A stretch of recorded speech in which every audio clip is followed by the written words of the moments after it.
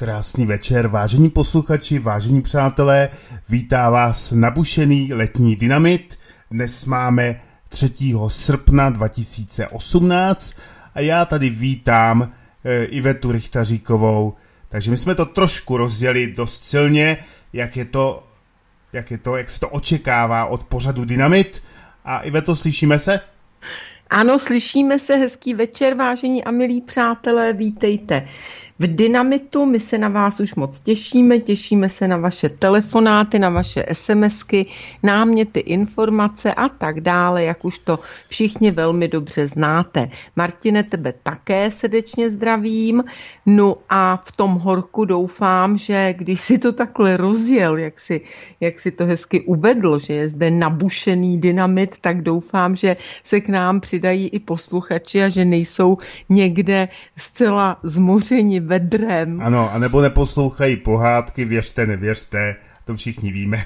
Takže asi takové tu seriózní, politicky nekorektní dynamit, který na rozdíl od jiných pálí do všech. Takže proto je ten pořad také tak oblíbený. Takže e, máme tady první téma. Bylo tady taková ta písnička, e, myslím si, že teda to bylo poněkud docela dost od pana Hudky, velký podraz a já si myslím, že bychom si k tomu mohli něco říci, Iveto.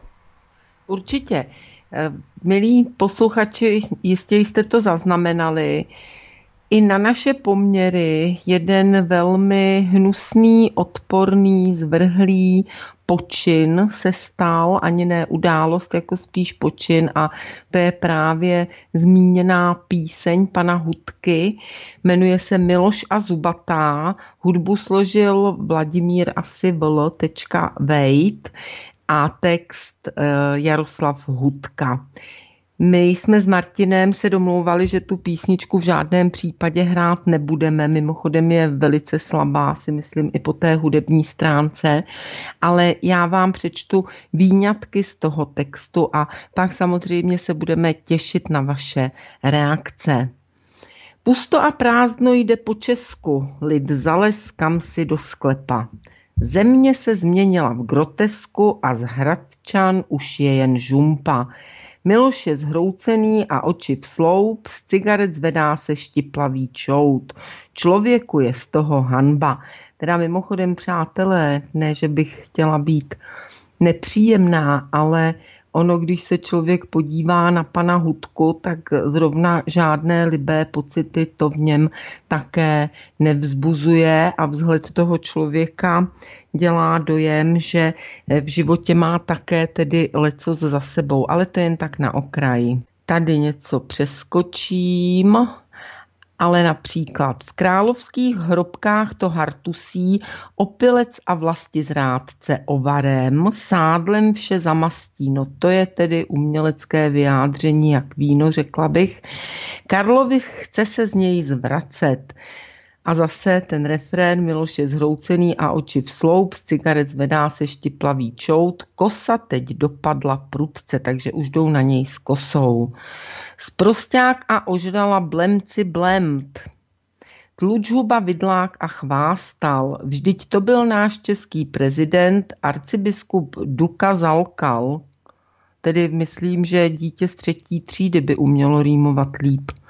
A zase refrén – a teď pozor, teď pozor, teď už to jde skutečně přituhuje.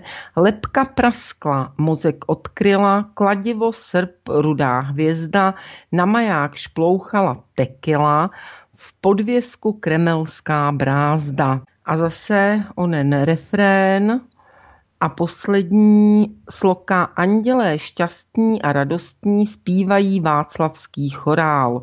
Zubatá na káře pohřební dělá podláždění randál. Miloš je zhroucený a oči v sloup, z cigaret zvedá se štiplavý čout, zubatá mává nám nazdar. To je celé, jednu nebo dvě sloky jsem vynechala z této odporné v uvozovkách písně a Teď samozřejmě je řada na vás, abyste volali vaše názory, názory.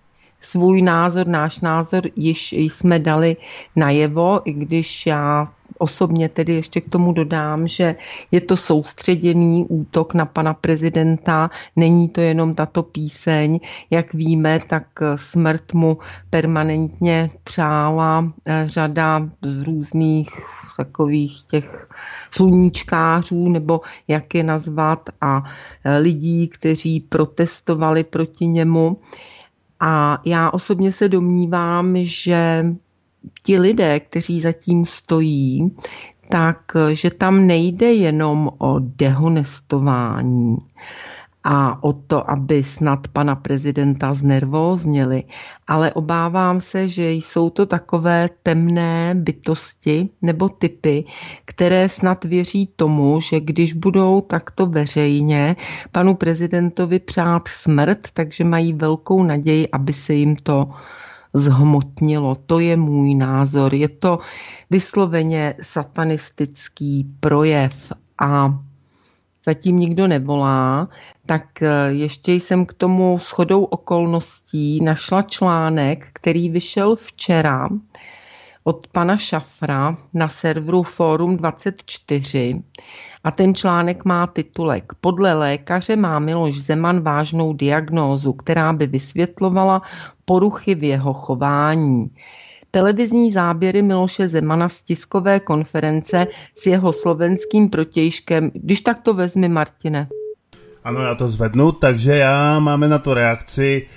Ten článek teda bude stát na zdar hodiny. Takže hezký večer, posloucháte Svobodné rádio. Prosím, stumte si váš přijímač, váš počítač a můžete mluvit. No, já, já Martine, to jsou já, Leoš, pozdravu jak tebe, tak i Ivetku Riktařikovou. My vás zdravíme. Hezký večer.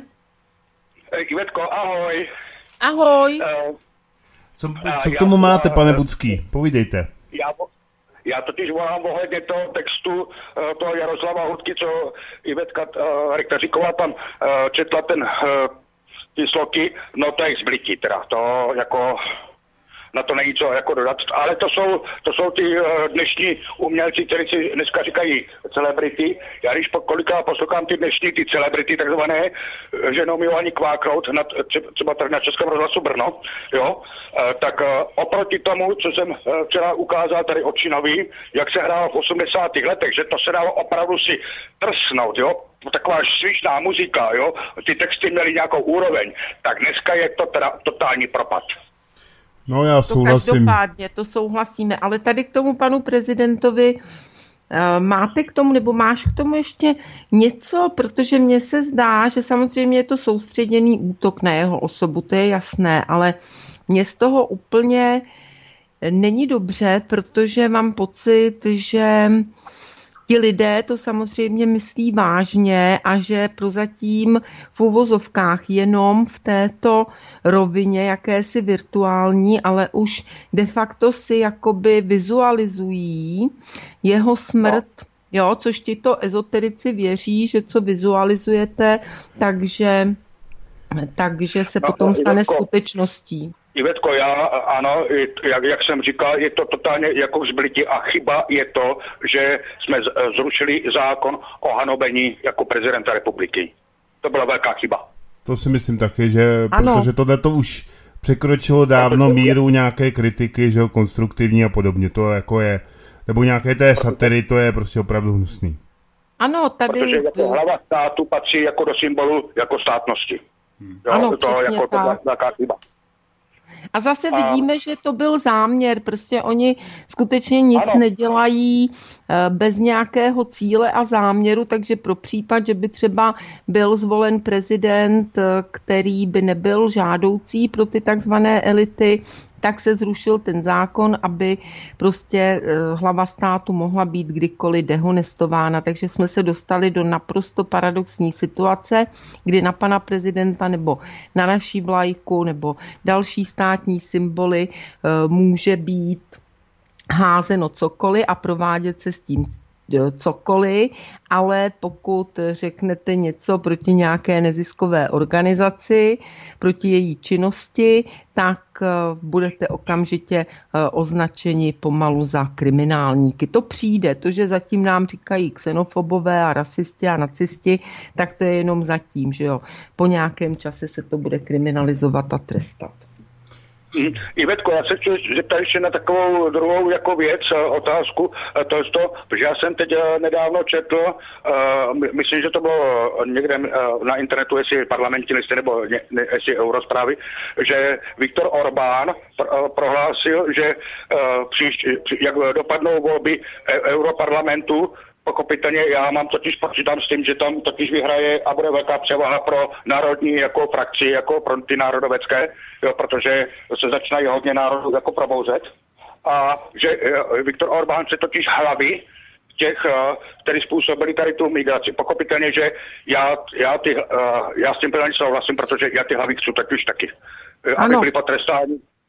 Co na ano, to říkáte jsem... vy, paní Určitě, já jsem to dokonce, myslím, i četla, ten článek jsem viděla na eh, hlavních zprávách, eba, ježiš, to nesmím říkat, ten článek jsem prostě někde viděla a četla jsem ho a e, samozřejmě s tím souhlasím, nicméně domnívám se, že e, ještě zase převaha, že by byla v Evropském parlamentu národoveckých stran nebo národovců, to se asi nestane, ale jak o tom hovoří Tomio Okamura, tak je tam velká šance, že by se mohlo dosáhnout těch dvou pětin, tuším, že říká, což je zároveň již síla, která může blokovat různé zákony a nařízení, takže to by jistě byl velký úspěch. Ale Viktor Orbán si troufl a je důležité, že toto zaznělo, říct, že ti, kteří zavlekli Evropskou unii tam, kde je, takže by za to měli být eh, pohnáni před spravedlnost nebo něco, něco v tomto smyslu. Takže to je určitě dobře, protože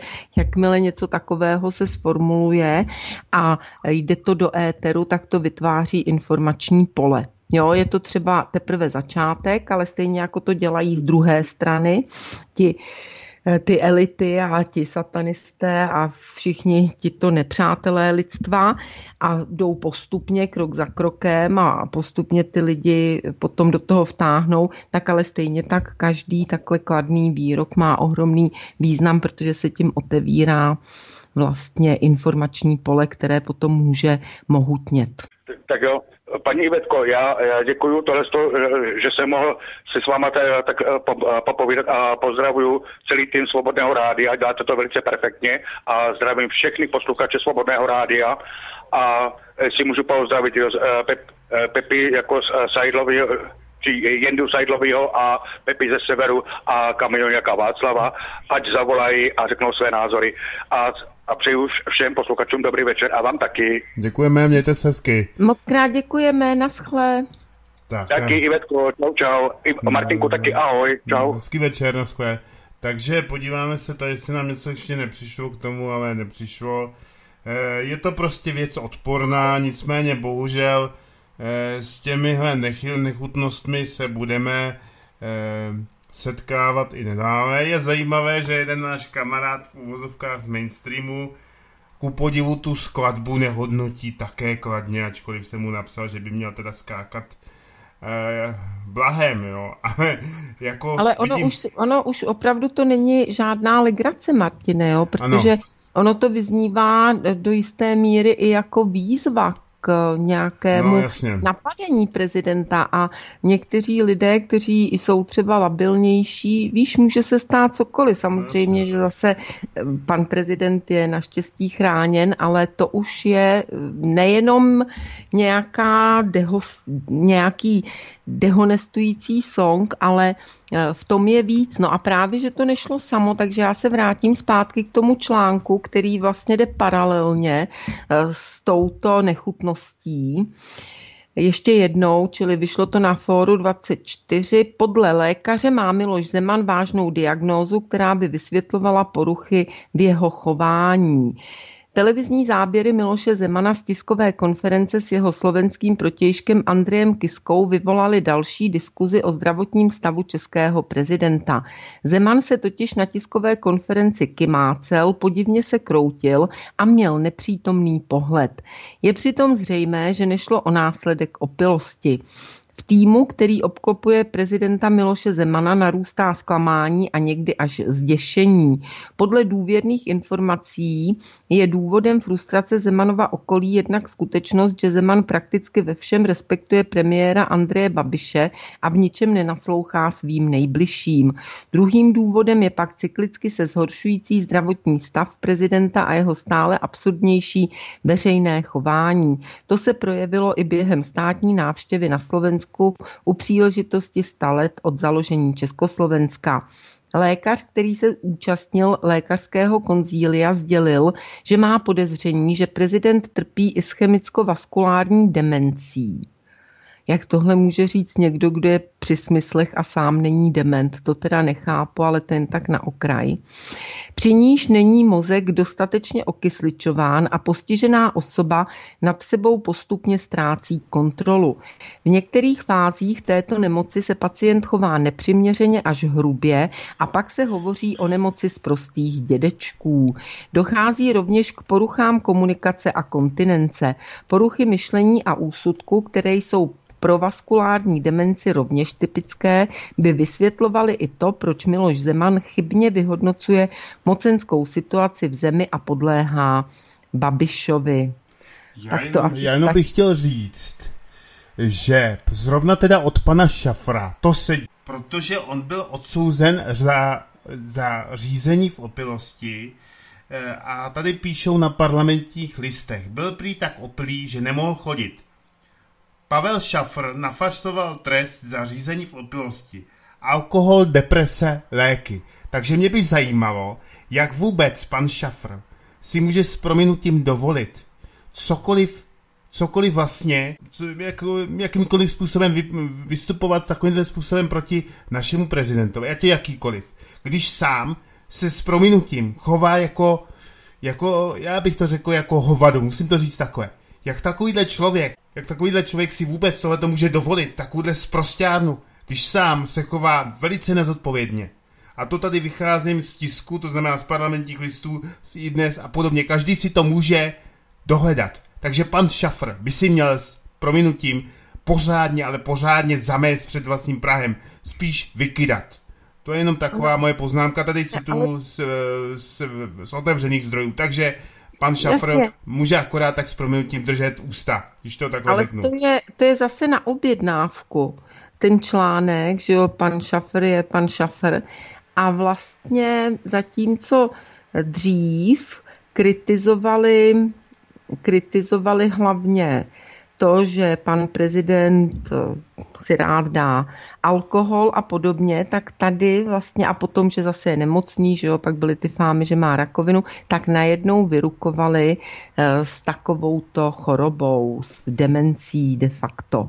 Jo. No a to je prostě vidět, že skutečně ten útok na pana prezidenta je soustředěný, že má vždycky určitý vrchol, pak to zase na chvilinku trošku jakoby utichne a jde to znova a dál a dál a tady ten souběh těch dvou věcí, eh, toho nadsti utrhačného songu s tímto článkem se mi tedy vůbec nelíbí.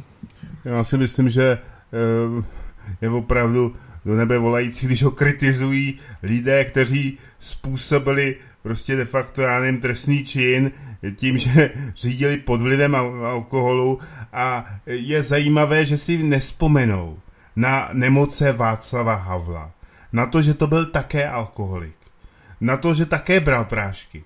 A jako to bylo v pořádku. To bylo v pořádku, to nikdo neřešil, jo. Veme si, jakou dobu různě byl Václav Havel po nemocnicích. Všichni to jako brali, všichni byli v pohodě, pražská kavárna mlčela. Nikomu nevadilo, že to stálo prostě e, strašný peníze. Ano, ano, to máš pravdu. Samozřejmě přirovnávat se k Václavu Havlovi, to asi Víš, jak to je s dětma, když přijdou a mají pětku a... Jasně. Já vím, že, já vím, že řeknou, že řekneme, ano, že ale ty... oni měli pětku všichni. No jasně, jasně, no. Já vím, že, já vím, že trošku, trošku to sice třeba může vypadat, ale musíme, musíme srovnávat.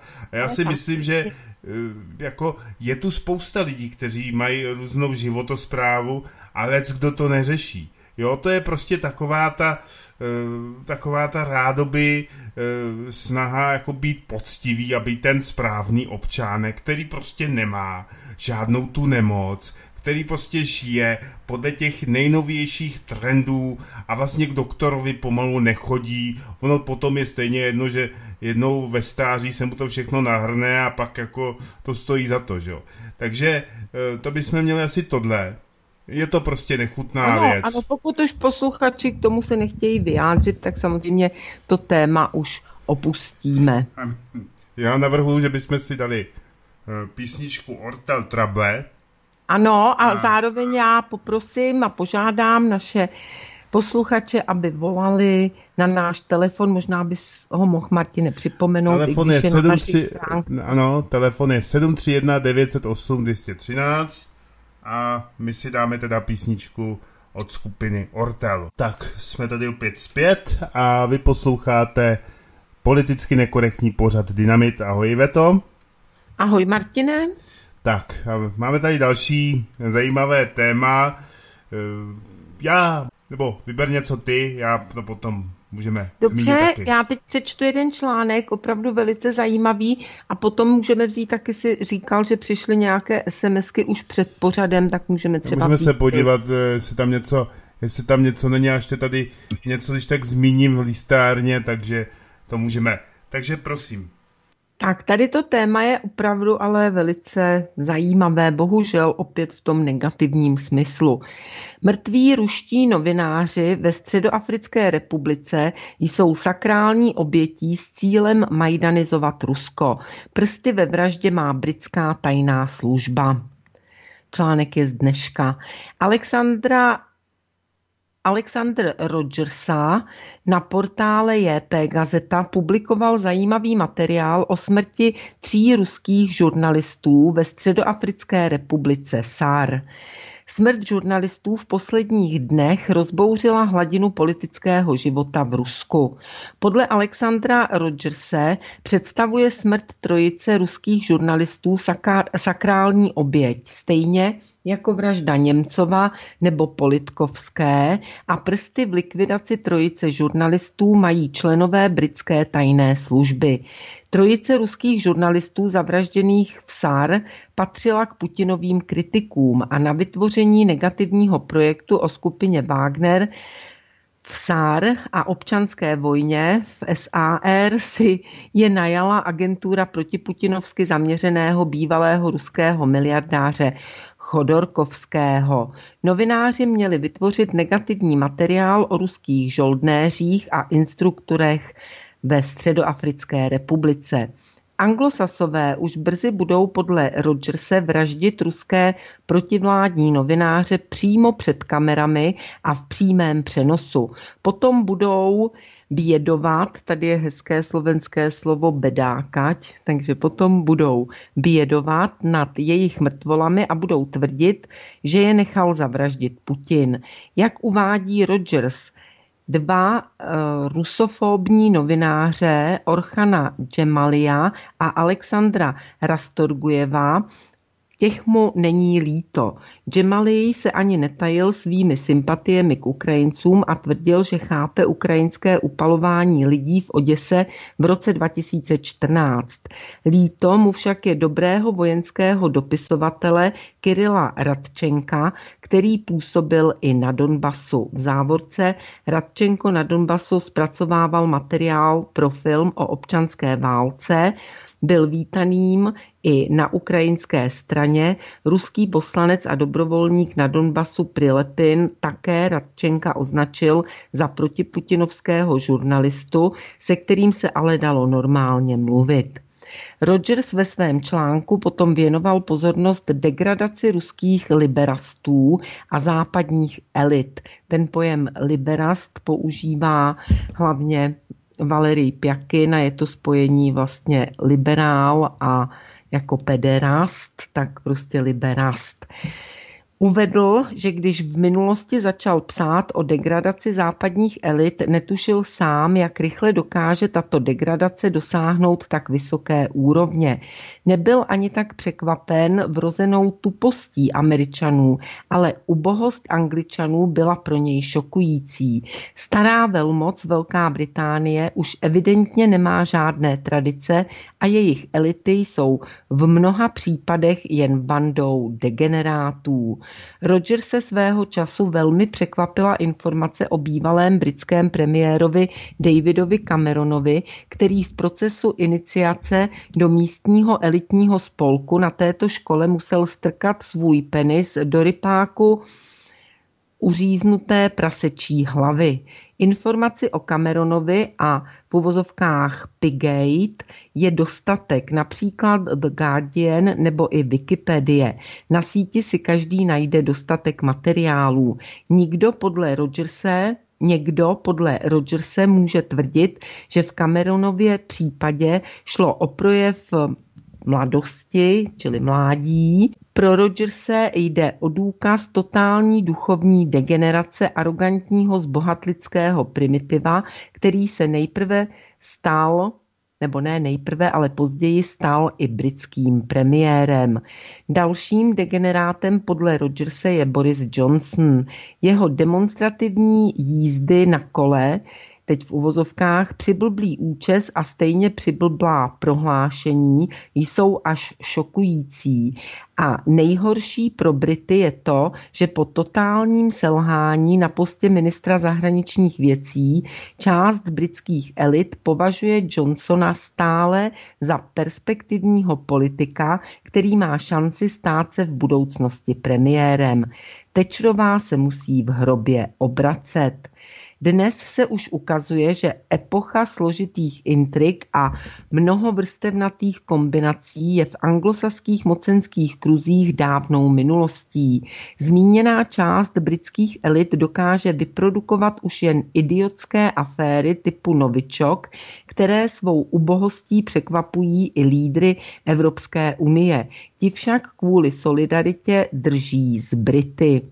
Rogers uvádí, že před několika měsíci zemřel Břežinský, autor knihy Velká šachovnice, ve které definuje principy geopolitiky. Kniha vyšla téměř před půl stoletím. Dnes britské elity na velké šachovnici v uvozovkách dokážou hrát maximálně karetní hru oko. A podobně jako u britských elit klesla i úroveň britských tajných služeb. Schéma celé britské akce je nesmírně primitivní a jednoduché. Chodorovského centrum, Chodorkovského centrum naverbovalo trojici žurnalistů Radčenka, Rastorgujeva a Džemalia, aby vytvořili dokumentární film ve Středoafrické republice o práci ruských žoldnéřů a instruktorů z Wagnera. Představili frakce občanské války a přiblížili válku i negativní činnost Wagnera liberastickým kruzím v Rusku. Chodorkovského centrum následně vypravilo trojici žurnalistů do země, kde zuří občanská válka, Prohánějí se muslimská komanda, bojují příslušníci francouzských i italských speciálních jednotek. Chodorkovského novináři přijdou s, s vypršanými, no, po už neplatnými novinářskými certifikáty bez ochranky a to do oblasti, kde ani nefunguje pořádné přímé spojení. Všechny tři žurnalisty, kteří navázali kontakt s představiteli muslimských militantních milicí Seleka a několik, za několik dní najdou mrtvé, všechny tři žurnalisty najdou mrtvé, přičemž před smrtí je brutálně mučili. Žurnalisté jsou jednoznačně sakrální obětí. Po smrti tří žurnalistů se začíná v Rusku obehraná liberastická písnička. Zabili demokratické novináře, kteří sledovali nekalou činnost Wagnera ve Středoafrické republice, budou vraždit nepohodlné novináře i v Sýrii a Rusku. Je třeba odstavit Putina. Liberastům nemá význam vysvětlovat, že do Středoafrické republiky poslal novináře Chodorkovský. Chodorkovského organizace vybavovala certifikáty, financovala akci žurnalistů. Chodorkovského organizace mala, měla jako jediná všechny informace o pohybu trojice novinářů. Samozřejmě pro liberasty je vždy vinen Putin. Ale jak si to všechno ten Putin nedokáže domyslet. Vždyť by stačilo zlikvidovat Chodorkovského ve vězení a žádné problémy v budoucnosti by nebyly. Krvelačný Putin to však neudělal a když se liberastů zeptáte, proč to neudělal a nenechal Chodorkovského odstranit, neřeknou nebo neodpovědí vám a pokračují ve svém hysterickém vřeštění. Zabili demokratické novináře, kteří sledovali nekalou činnost Wagnera a tak dále, to už jsme četli. Nevychází to Britům s odstavením Putina, nedaří se srazit Rusko na kolena, rozpoutat v Rusku vnitropolitický konflikt. Zdegenerovali nejen britské elity, ruští liberasti, ale i představitelé britské tajné služby. Úroveň této sakrální likvidace dvojice protiputinovských žurnalistů Džemalia a Rastorgujeva a relativně normálního Radčenka je na stejně trapné úrovni jako akce s Novičokem. Na závěr Rogers ve svém příspěvku uvádí, že v nejbližším období je třeba se připravit na liberastické okázalé příběhy o cestě tří neohrožených mudrců do Středoafrické republiky, kteří chtěli odhalit zákeřné machinace Putinova režimu, dostihla je však smrt – ta měla podobu členů ruské tajné služby a při jejich osvobozování neuspěli humánní a vysoce vzdělaní islamističtí militanti z organizace Seleka. Sakrální oběť protivládních novinářů patří do běžného repertoáru tajných služeb, které se snaží majdanizovat politické dění v zemi. Tak a to je všechno, já se omlouvám za ty přeřeky, ale je pátek večer a... No dobrý, já si myslím, že... to bylo horší než jindy. Tak... Já si teda myslím, že je to docela zajímavá taktika. Když teda potřebuju to na nikoho schodit, tak si vemu nějakou, nějaké sluníčkáře, nikam je pošlu a pak za pomocí zpřátelených tajných služeb je odstraním a řeknu, no on za to může Trump, nebo za to může Putin, nebo v našem případě za to může Zeman a proruští, že jo, eh, já nevím, tyhle ty živly a tak dále, to je hezká, to je hezká tradice v uvozovkách, no. no. Ano, bohužel tak to chodí, ale nejhorší na tom je vlastně ten satanistický nemůžu si pomoci podtext. Jo, že ta sakrální oběť, to, hmm tito nelidé, tito, tyto zrůdy, které jsou eh, v pozadí, tak eh, zároveň prostě v tom spatřují určitý symbol, který podle nich má mít sílu prostě uskutečnit ty jejich rejdy. Je to fakt a bohužel nejenom toto se děje na mainstreamové scéně, ale kolikrát i na té alternativě Eh, v těch různých takzvaných duchovních směrech a podobně, že když někdo zemře za záhadných okolností, tak se to vlastně bere jako kladná věc a je to prostě, jsou to spojené nádoby. Já tady nám přišly nějaké SMSky, to teda spíš takové pozdravy, já si myslím, že by bylo dobré, aby jsme lidem udělali radost, tak eh, Eh, dobrý podvečer. Chci všem pracovníkům Svobodného rádia moc a moc poděkovat za vaši náročnou a nelehkou práci. Z jihu Moravy vás všechny do rádia zdraví váš věrný posluchač Josef. Děkujeme. Ještě Děkujeme. Tady nám píše pan Bucký, že e, pan Havel bral dokonce prášky a tyhle ty věci, to my, to my víme. Z více rozdrojů jsou tam teda ještě nějaké jiné věci které už nemusím, které, o kterých si myslím, že nemusí být pravda, nicméně eh, ty drogy, eh, ty prášky teda, pardon, a alkohol, nemyslím jako drogy klasické, že by si pan Havel něco píchl, to asi ne, ale nicméně prášky a ten alkohol, o tom se ví všeobecně, takže eh, bohužel, no, tak se to děje, ale prostě protože to byl člověk na správné straně, tak se jaksi na to nehledělo, zatímco u pana prezidenta Zemana to vadí. No to je jenom taková odbočka. Takže e, takhle, já bych se ještě vrátil, jestli bych mohl, a mohl bych se vyjádřit e, k poslednímu pořadu e, Svobodného rádia, kde jsme měli hostem e, Tomia Okamuru, kde to teda excelentně vedl pan Vladimír Kapal a opět se ukázalo, že někteří lidé prostě v dehonestaci pana Okamury prostě opravdu neví, kam, už, kam až by prostě sáhli, takže jako já si myslím, že eh, ten pán z té Kanady se ukázal prostě jak se chová, nehledě on patří eh, k takové té skupině těch nepřizpůsobivých. Já jsem s ním potom dokonce i nějak si psal a jemu vadilo, že nemohl položit prostě dlouhé otázky. Ono to opravdu vážení posluchači nejde, protože když je takový prostě exponovaný host jako pan Okamura, tak je prostě spousta telefonátů. Nehledě na to máte tady také nějaké programové schéma které musí to rádio nějakým způsobem aspoň se snažit dodržovat. Pořad byl skutečně o 10 minut ještě delší, takže já si myslím, že na spousta lidí se dostalo. Dostalo se prostě v takové míře, eh, že, kterou by vám mainstream neukázal a já si myslím, že skutečně pan Okamura Eh, dělá, co může. Je otázka, když tam bylo zmiňováno to video, jestli to video vůbec existuje. Jestli to nebyla nějaká smyšlenka ve stylu, že eh, se točí nějaké to video, že, že se tam, straš, se tam straší cikání, romové a tak dále před Okamurou, jestli něco takového existuje. Já bych opravdu pochyboval, protože kdyby se něco takového eh, obje, natočilo, tak se to myslím, že se to určitě někde objeví na Facebooku, jo, aspoň někde to tam proběhne, já jsem nic takového nezaregistroval, tak je otázka, jestli je to pravda.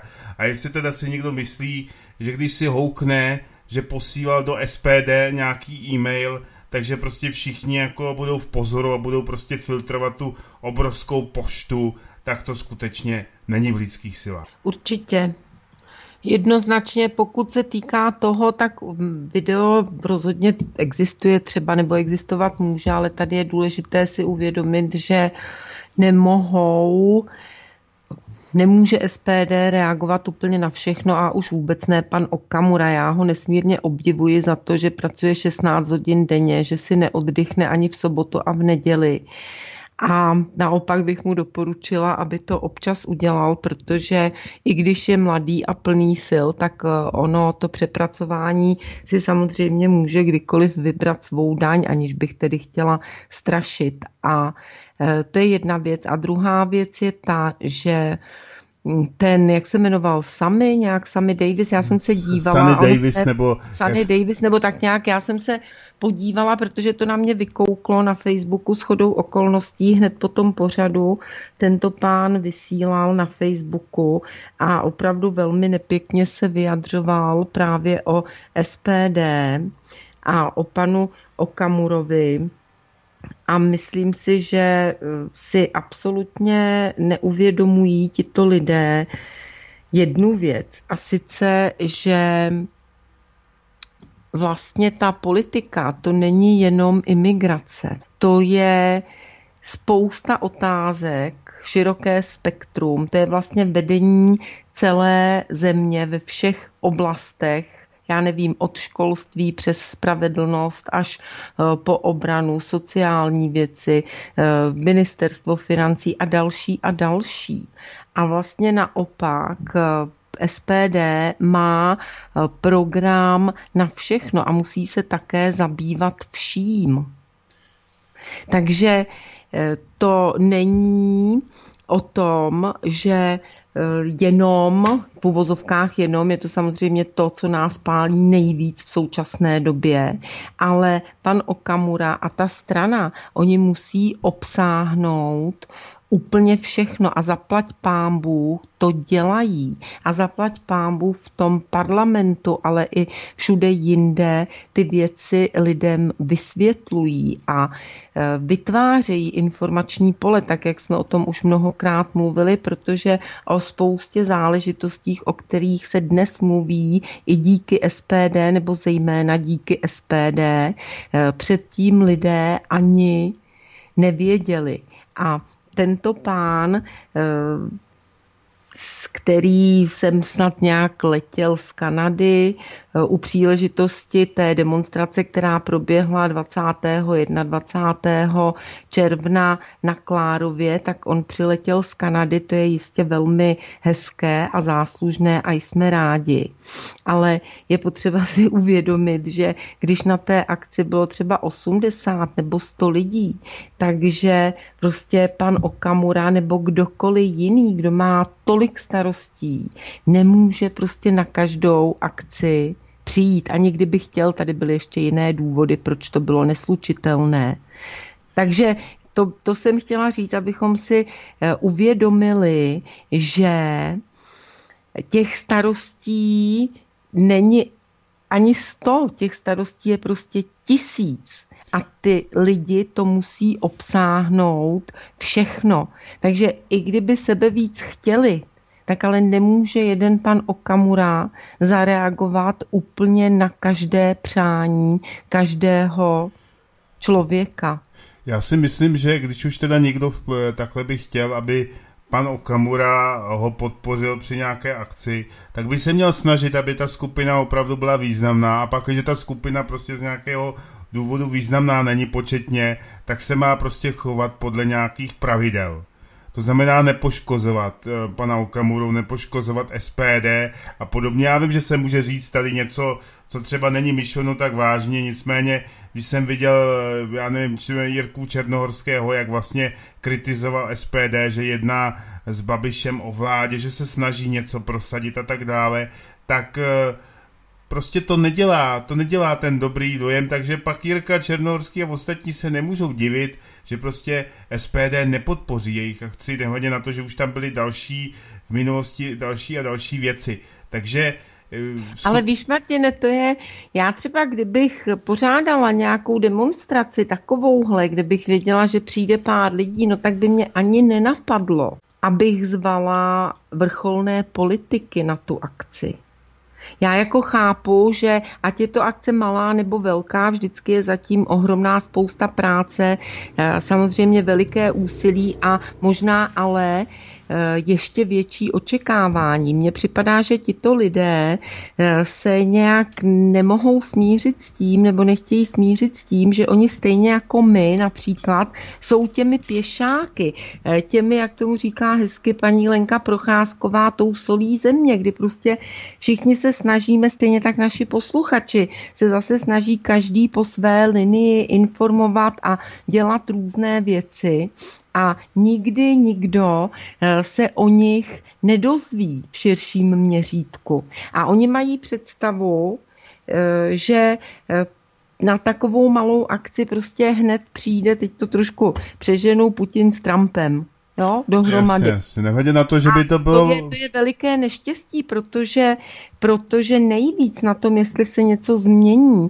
tak nejvíc to záleží skutečně na těch lidech dole, ale ti nebudou nikdy slavní. Když se podíváte na jakoukoliv válku, ale vezměme si třeba tu nejstrašnější, druhou světovou válku, tak samozřejmě my známe jména jako Stalin, Churchill, Roosevelt a z druhé strany Hitler a pár nějakých generálů, ale když vezmeme to Rusko, které především eh, tu válku otočilo a vyhrálo, tak tam padlo prostě okolo 20 milionů, nebo se i říká 27 milionů, včetně civilního obyvatelstva lidí. Takže tu válku vlastně vyhráli ty kluci v těch zákopech, i když samozřejmě to, aby byla dobrá strategie, aby bylo materiálové zásobení a tak dále. A ten vůdce tam byl strašně důležitý, ale tu válku, tu válku, to rvaní se s tím protivníkem a ty životy tam prostě pokládali ty lidi, kteří jsou bezejmení, s výjimkou svých rodin, jsou bezejmení. A tak to prostě je. A buď to do té věci jdu srdcem, že to chci změnit, protože vím, že tak je to správné, protože miluju to, tuto zemi, miluju svůj národ, miluju naše děti a kulturu a tak dále ale jako slávu z toho čekat. To opravdu nejde. Já si myslím, že tady skutečně jde o to, aby se něco změnilo a ne, aby člověk jenom jako z toho těžil, že by si potom říkal, no, může si to říct pro sebe, byl jsem dobrý, že jsem taky pomohl, ale jako aby z toho těžil nějaké funkce nebo prostě vyznamenání. Teď přece jde tady o tu změnu, že jo, takže já si Ale myslím, on by že... si to třeba i každý zasloužil, jenomže tak to prostě nefunguje. To máš pravdu. Jo, a nemůže to tak fungovat, logicky. Podívejme se, když se dělala sbírka na Národní divadlo. Taky tam bylo spousta anonymních přispěvatelů, že jo, z těch nejnižších vrstev, kteří se vlastně ani na to, eh, kteří se nikdy do toho Národního divadla ani nepodívali. A přesto podpořili věc, která je přesahuje. Ano. Tu teďka cituju Lenku Procházkovou, ale prostě je to tak. Ale nejen podpořit, jo, často vlastně ty lidi to potom i vytváří. Ale to je jedno, jakého slova se použije, samozřejmě. Takže to jenom, to jenom k tomu, je to škoda, ten pán vlastně tím jedním nějakým svým projevem, pokud to ještě třeba nezmění, tak de facto ani si to možná uvědomil, tak tím popřel a zabil všechno to úsilí, které, jak tedy on říkal, já ho neznám, předtím do toho vložil. Já jsem se ho teda ptal, jako, jaký bude jeho program, takže on bude vlastně, teď to řeknu lidově, zvracet na SPD. A takže vlastně svým, svým konáním... Jenom proto, že, že nedostal prostor hmm. půl hodiny tam hovořit. Podle mě to není jiný důvod, jasně, tam není. Jasně. A další věc, no. další věc to bylo s, tou, s tím údajným videem, jak eh, nařknul Tomia Okamuru, že lže, že to dostal. Jo, mě by zajímalo, jakým způsobem... Ale i kdyby to dostal, teď má tisíce, no, jasně, jasně. který jsou, eh, jsou státního nebo mezistátního, dokonce mezinárodního významu, tak prostě tam člověk, eh, den má jenom 24 ano. hodin a člověk potom musí velmi pečlivě volit priority. To je jako když někdo, když někdo, když lidé pošlou pět tisíc mailů a diví se, že se každému neodpovědělo. No tak prostě se to stane. Prostě to tak chodí. Eh, ale to neznamená, že okamžitě, když ta instituce neodpoví, že ta instituce je špatná, potažmo, když je to jediná národovecká politická strana, která má sílu něco změnit, která má ten potenciál. Takže e, mě, mě docela zajímalo, bylo docela zajímavé, že spousta žen poměrně mladých jako říkala, jako na základě toho z SPD končím a podobně, na základě nějakých smyšlenek. Teď je to prostě s prominutím blbost, místo toho, aby ti lidé prostě SPD podpořili, protože nikdo ostatním nebude mít prostě tu sílu nebude mít tu sílu, protože ty pěti straničky, těm jde skutečně, dneska jak to říkal Pavel Matějka, o to, aby teda v lepším případě se dostali na 1,5%, což se teda v drtivé většině e, nepovede. Takže ani tohleto, takže je to vidět. Ale přitom ti lidé dostali výzvu, že se mohou k SPD přidat. Samozřejmě je jejich právo, aby to nečinili. Ale mohli by se přidat a to, co se jim teď třeba nelíbí a určitě nějaká oprávněná kritika kritika tam bude, protože je to obrovský počet lidí, 13 tisíc lidí a e, mezi těmi lidmi se najdou vynikající a pak se také najdou e, lidé, kteří třeba to nemusí myslet tak úplně dobře, ale tak místo toho, e, já, já tohle prostě nechápu někdy myšlení těch lidí, jestli tedy oni, kdyby měli 13 tisícovou organizaci, pardon, by se přidali k někomu, kdo má 50 lidí. Jasně. Ještě bych to chtěl jenom no. trošku přirovnat k naší rádiové praxi na spoustu jiných alternativních rádích. Vidím třeba, když je nějaké uskupení studií, tak je tam třeba, eh, tak je tam se tam taky jmenují rády a podobně a takové, což je jejich věc a podobně, ale u nás na svobodném rádiu to prostě nic není. My tu máme maximální studio Kladno, studio Beta, studio Vyšehrad, studio Lípa. Nikdo tady nemá to je ten egoistický název, že by tady bylo nějaké rádio Kladno eh, pro eh, svobodné rádio a takové nic takového tady prostě není, to je taky taková trošičku medospělost, ale to je jenom takové odbočení. Eh, takže asi takové. A já zase vybídnu naše milé posluchače, aby nám zavolali. Nebo napsali SMS a my si můžeme by dát dobré. písničku. My si dáme jednu nebo dvě písničky. Vážení přátelé, může to tady být vaše, navrhněte nějaké téma, přineste nám informace eh, z vašeho okolí a z vašich zkušeností. Přijďte eh, se svou troškou do mlína. budeme mít radost. Tak, máme tady telefon, já ho teda zvednu. Moment, slyšíme se, Iveto? Ano. Tak, my si tady vezmeme telefon. Tak, halo, halo, slyšíme se, Svobodné rádio? Tak, měli bychom se slyšet. Tak, pane Martine, i paní Lenku, i posluchače. A chtěli jste navázat nějaké téma, takže já v rychlosti, protože už nemám moc kreditu na telefonu. Povídejte. no, takže chtěla jsem, eh, dostala jsem maila eh, včera od našeho kamaráda posluchače Svobodného rádia z Ostravy. A tam bylo prostě psáno, kolik bitev vyhrál, uh, vyhrála Evropa nad muslimy. Uh, už v roce vlastně 480 před naším letopočtem, pak rok 732, rok uh, 1571, rok 1683. Vždycky byli muslimové v přesile a vždycky jsme vyhrali my. Proto oni potřebují ty, jak se říká, chytré Evropany zlikvidovat. Momentálně je v, e, tady u nás v Evropě už 54 milionů muslimů, což je teda varující, hodně varující pro, nás, pro náš národ. A zrovna včera dávali na stanici Československo film Němá barikáda. Po dlouhé době jsem si ho znovu zhlídla, když si to bylo povinné, že, jako za našich času. No a teď jsem si to zhledla a takhle úplně mě to um, jak si až dojalo, jak ti lidé byli obětaví a jak tu Prahu a celé to, celé to naše historické vlastně město i celou tu historii prakticky naši zachraňovali vlastními životy ještě 8. května a ti naši, ti naši si to teď vůbec neváží. Vůbec o tom nic neví. A takový pán, pán uh, Huďka, obyčejná nula, dementní, která teďkom takhle plive na tu naši státnost, tak ta nám nestojí ani za to, aby jsme se, jo, jo, aby jsme vůbec na něho podívali a ne ho ještě ho poslouchali. Protože to jim Určitě. dělá dobře, když, když je posloucháme, když o nich mluvíme, to jim dělá dobře, ta jejich popularita.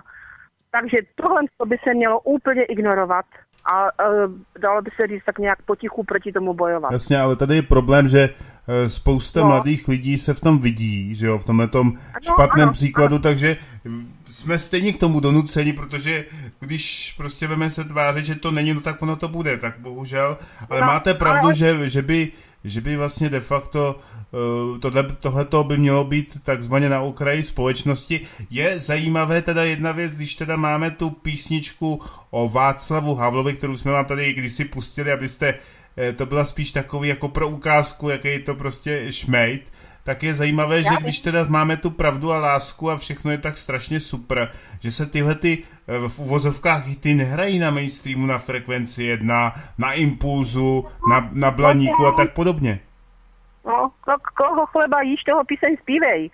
Jasně, ale je. Najednou, oni, no. najednou oni přiznávají, že to teda je nic moc a že by se to jaksi neuchytilo. Já se teda ptám, proč, když teda všichni jsou tak strašně přesvědčeni o našich eh, skvělých zítřký, zítřkách a o tom, jak nám teda ti e, muslimové, jak nás obohatí. No tak asi je v tom nějaký rozpor. To znamená, že to asi e, tak úžasné nebude. Dobře. E, no, tak oni, oni, je, oni je všechny, všechny tady tyhle ty muslimové obohatí tím, že ženské jim znásilní, podřežou jim krky a to bude obohacení. Pak teprve se jim rozsvítí v Makovici, ale to už bude pozdě. Jasně. To bude na druhé straně. děkuju, děkuju Mějte se hezky. Děkujeme. Já tady mám sms ke který se vyjádřím, protože to je zase, já vím, že lidé by chtěli mít tu pohádku, jak všichni budou táhnout za jeden provaz a tak dále. Eh, eh, dělnická strana sociální spravedlnosti proti SPD nikdy nic neměla, ale jak se Okamura na dotaz eh, o spolupráci s DSS vyjádřil panu Kapolovi, a odmítl do, duel s předsedou dělnické strany e, Tomášem Vandasem, tak se strapnil a volit ho nemohu. Vladimír Jirásek Pardubice. Víte, já vám řeknu jedno. Já vůči panu Vandasovi a celé svobodné rádio nic nemáme a nemáme Naopak, ani vlastně... Nás nemáme, vystupuje, a nemáme že? vlastně ani nic proti dělnické straně sociální spravedlnosti. Nicméně kolem té dělnické strany prostě byly takové prostě různé, různé takové zjevy, bych řekl, ti různí skínové a tak dále a plus tam také měli nějaké ty aféry, takže prostě z pohledu toho politického, prostě pan Okamura nemůže v současné době spolupracovat s dělnickou stranou. Protože by ten mainstream a prostě většina lidí by ho ušlapala. Jako může, musíte to takhle prostě brát. Není to o tom, že když vy máte nějakou víru, že prostě dělnická strana je super, že to projde. To prostě takhle v té politice nefunguje. Takže prostě logicky pan Okamura prostě řekne, že nemůže spolupracovat s, s dělnickou stranou sociální spravedlnosti. A já teda nevím, o čem by ten duel byl, když teda ve většině věcí souhlasí, to by popravdu pan Okamura musel začít probírat e, ty nepříjemné věci, které vlastně jsou kolem té dělnické strany. Ano, třeba to není opravdu něco tak závažného, ale ty věci se tady prostě dějí. A prostě současný establishment by to použil proti SPD. Takže ale pan... hlavně, hlavně přátelé, tady je potřeba si uvědomit, v jaké jsme situaci a co je cílem. A jestliže prostě cílem je dostat se z toho marazmu, tak je potřeba velmi uvážlivě volit a povznést se nad věci tohoto typu. Jestliže v této chvíli, kdy nám zcela reálně hrozí zotročení s terorem a následně potom našim dětem, vnukům a tak dále prakticky vyhubení, tak jediné straně, která má nějakou váhu, nedat hlas a řeknu to lidově, naštvat se na ní, Protože tam je, že jo. Rozumíte, ale já teď, já teď jako to chci opravdu se snažím to vysvětlit jako velice, velice v dobrém, protože samozřejmě všichni jsme lidé a já chápu, že někoho to může i rozlobit, protože má prostě jiný názor a Eh, stojí a je mu sympatičtější nějaký jiný politik, i když třeba je za ním hodně malá síla, která v současné době se nemůže prosadit. Já tomu úplně rozumím. Ale teď už na takové mm, emoce a půdky a naštvávání se a šprajcování se a to myslím v dobrém, opravdu se tím nechci nikoho dotknout. Skutečně není čas. Teď je prostě potřeba se na to podívat z hora, podívat se na to, co se skutečně děje a kde je ta síla, která reálně s tím může něco udělat. A i když třeba s tou silou úplně nesouhlasím, tak protože v tuto chvíli je jediná, tak je prostě potřeba ji podpořit. Jo, čili toto je, ono to není určitě jenom v Čechách, ale myslím si, že my Češi jsme tím tedy pověstní, že do poslední chvíle, než se sjednotíme, tak se hádáme s prominutím oblbosti. A na to už není čas. Vždyť nám jde o život, minimálně ve smyslu kvality toho života. Takže pojďme se na to, nad toto povznést, protože jinak je s námi doopravdy amen.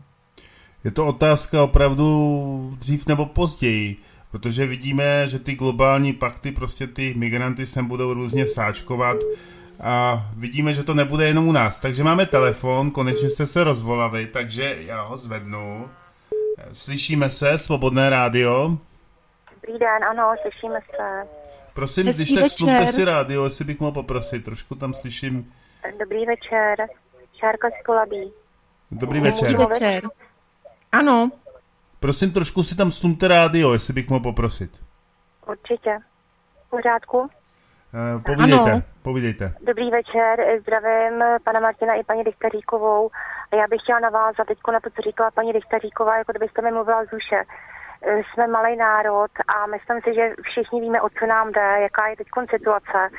A místo toho, abychom teď spojili síly, tak se teď dáváme drobit. Je tady spousta, jak vy tomu říkáte, pěti stran. Každá má nějakého toho svého lídra, ale každý si hraje na svém písečku a víme, jak jsme povahou Češi, my jsme takový poměrně i závistiví lidi a když nějaká strana je úspěšnější než třeba i my, i když můžeme mít tu myšlenku jakoby dobrou a stejnou, tak uh, už z principu toho, že prostě mají třeba více členů a tak dále, tak začneme pomlouvat, začneme hledat, začneme hledat prostě důvody, proč jsou horší, proč s nimi netáhnout, jenomže tohle to nemá vůbec žádný význam. V současné době je to právě o tom, že by si ti lidi všichni měli uvědomit, že jediná strana, která teď tady je opravdu taková, eh, která má naději, je SPD a všichni, pokud to teda myslíme opravdu dobře, tak bychom měli ty svoje eh, pískoviště opustit a dát eh, nějakým způsobem těm svým členům, ať jich 50 nebo 100 najevo, že bychom měli SPD teď podpořit, protože pokud se budeme drobit a budeme se hrát, jestli tamhle ten nebo tahle ten, já budu lídr, ty budeš lídr, tak to vůbec nemá, nemá šanci. Prostě měli bychom se všichni spojit a pokud tyhle ty, m, mm, jakoby národní nebo národovlastenecké strany by tohle to udělali, tak by obrovským způsobem stouply preference i tomu SPDčku a mohlo by se tady něco dokázat. Já... A v tom případě se potom pozná, kdo je teda opravdu přímý vlastenec a komu jde opravdu jenom o to, aby třeba byl slavný, nebo aby se říkal, jo, já jsem lídr tyhle strany. To je můj názor. Eh, já vám řeknu jenom jednu věc, že tady je spousta těch politických stran, eh, které vlastně se nikdy do toho parlamentu nedostanou. Maximálně ano. vidíte v tom politickém spektru. Některé ty strany mají dobré názory, některé jsou takové ty ODS 2 a KDU, které by vlastně eh, tam v té politice nic nového nepřinesly, maximálně trošičku takový ten revival, jo, ODS a tak dále. Kdyby tyto strany řekly, podívejte se, nemá to cenu, hro, máme tady takovou hrozbu, no tak my teda ukončíme činnost, ať teda uh, dáme prostor SPD, protože uh, nám tady jde o život. Tady to není o tom, že, že budeme, jako si říkat, Sparta Slávie a nebo maximálně nechceme tu korupci, tak když, když si nezvolíme ty strany, které vlastně e, nechtějí tu korupci, tak se tady bude krás, ale tady jde skutečně o život, o ano. lidské bytí, takže já si myslím, že je potřeba tohleto odhodit a e, jako říkat, no já nebudu SPD volit, protože je má nějaký takový něco, co se mi nelíbí, ten kabátek má jinou barvu, než si prostě já představuju a proto prostě u mě skončila Uh, i když jde o podstatnou je... věc, to je špatná. To je špatná to je jedna Určitě, já s vámi souhlasím. Ještě se to můžu vstoupit. Já si myslím, že jako je to sice o lidském bytí, ale tady jde i prostě o ten národ, tady jde i prostě o tu naši vlast, jo. takže jako bytí ano, ale jako mít tady i tu svoji zemi, prostě ten domov, je to prostě naše země. A my bychom se měli opravdu spojit to, abychom jí měli nejenom tady lidské bytí, ale bytí v té naší zemi, tam, kde máme domov, kde máme svůj jazyk a kde se nám prostě žije dobře. Ano, určitě. To jste řekla moc krásně. A já bych tomu chtěla ještě dodat, že jedna věc, to už jsme říkali, že ti lidé, kteří třeba mají nějaká malá hnutí nebo strany, tak skutečně, jak o tom hovořil pan Okamura, několikrát se mohou přidat, čili oni se mohou ano. dál realizovat. A za druhé, i třeba eh, volič, jo, někdo, komu se něco teď znelíbilo, tak už nebude SPD volit, tak proč hned tímto způsobem? Nikdy, nikde nic není ideální. Takže ne napište na tu stranu, nebo si tam zajděte, určitě mají eh, nějaké kanceláře, tam jsou určitě návštěvní hodiny a úplně v klidu, ne hned útočně, ale prostě vysvětlit, hele, tohle to se stalo, mně se to nezdá, proč se to děje, nebo může se to dít jinak, my jsme eh, vaši voliči, my máme tuhle představu takhle prostě konstruktivně ano. se do toho zapojovat, protože to je to, co vlastně jako lidstvo se teď učíme, že jako se dřív lidi neuměli číst a psát a pak vznikla potřeba, aby lidé, že jo, vzhledem k pokroku, eh, začali eh, umět číst a psát, tak dneska je už úplně na snadě, že pokud má společnost vypadat jinak, tak lidé se musí začít účastnit veřejného života. A to neznamená opravdu jenom jednou za ty čtyři roky vhodit někam lístek, pokud vůbec, že jo, protože pořád ještě volí třeba jenom 60% lidí vůbec přijde k volbám, ale to znamená opravdu se zajímat a starat a nejen proto, aby si člověk utvořil názor a potom podpořil eh, tu správnou eh, stranu, tedy podle jeho názoru samozřejmě správnou, to každý člověk má právo si rozhodnout, kam chce, aby ta země směřovala, ale zároveň prostě se účastnit i víc, tak když se mi něco nelíbí, tak prostě eh, chodím za těma politikama, ptám se, píšu jim, a podobně. A to je to, co se teď jako lidstvo, lidstvo učíme a musíme naučit, protože pokud se tohle to nenaučíme, tak ten svět vždycky povedou, nebo ne vždycky, ale drtivou většinou tomu tak je, že ho prostě vedou lidé, kteří nakonec rozhodují proti národům a proti těm lidem, jejichž jsou vlastně zaměstnanci. Prostě to je kontrola ze strany veřejnosti a ta je naprosto nutná. Eh, Máte pravdu, naprostou pravdu, ale uh, lidi jsou strašně pohodlní. Lidi jsou strašně pohodlní a jako já to vidím ve svém okolí, kdybych někomu řekla, dojdi se na SPD a na něco se zeptej, tak prostě na mě budou koukat. Já třeba jsem si opravdu pečlivě pročetla programy všech stran, jak jste už tam řekli, SPD má ten program tak propracovaný do všech detailů. Já třeba jsem ze školství a když jsem si tam četla líbily se mi tam třeba i ty věci, jako ohledně toho, že dneska rodiče vlastně nemají vůbec žádné povinnosti vůči dětem, jo. A tam ty povinnosti musí mít nějaké, musí si je plnit, že rodina je základ. My je, jako jestli můžu, jestli můžu aby, jsme, aby jsme byli, uh, mluvíme o tom, že vy jste říkal rodiče vůči dětem, ale já bych řekl spíš děti vůči, eh, děti vůči rodičům, jestli jste to myslela takhle, aby to bylo jasné. Eh, já myslím teď hlavně tu výchovu.